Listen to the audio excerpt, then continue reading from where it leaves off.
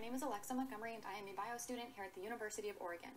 This is a project I worked on last year in the Environmental Engineering Lab at Oregon State University. I had a ton of fun and I'm so excited to see where I will be able to take this in the future as I plan to develop it further. So in the study, the potential of anaerobic digestion of human waste for the production of methane gas as a reliable energy source on Mars is explored.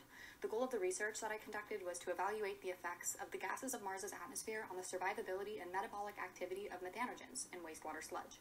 So in proposed future missions, NASA intends to send a team of astronauts to Mars to explore its surface for a prolonged period of time.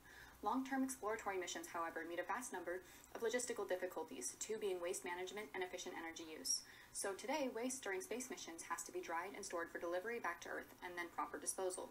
To avoid the cost and inefficiency of this system, advanced technologies in waste reduction and reclamation will need to be developed. While solar panels provide a renewable energy source, sunlight is also inconsistent energy shortages are common due to environmental stresses. So again, I was just looking at can we take waste that we'll be producing on these missions and use it as a supplement, supplemental energy source to what we already are planning to use. So to do this, media bottles containing samples of wastewater sludge from the environmental engineering lab were sparged with either pure nitrogen gas if they were in the control group, or a mixture of the gases found on the surface of Mars if they were in the experimental group. The gases in the Martian gas mixture can be found on the poster in the red box titled Experimental Bottle Setup to the left of the conclusion section.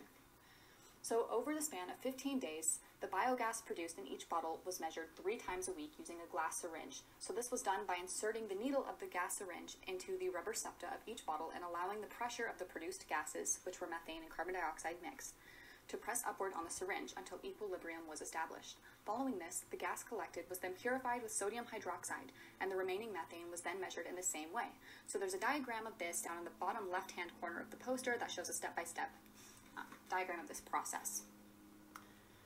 After 15 days of going through this process, the data collected showed approximately a 50% reduction in the volume of biomethane produced by bacteria in the experimental group.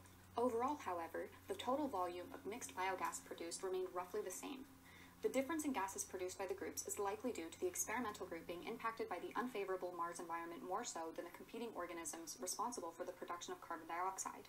As demonstrated by the results, the methanogens experienced greatly reduced metabolic activity. Oxygen, though less than 1% of the simulated Martian environment, is a probable cause of this phenomenon and would allow for other competing bacteria to consume an increased volume of organic waste. Overall, the results indicate that methanogens are able to withstand living in an atmospheric environment composed of the gases of Mars' atmosphere in the accurate ratios.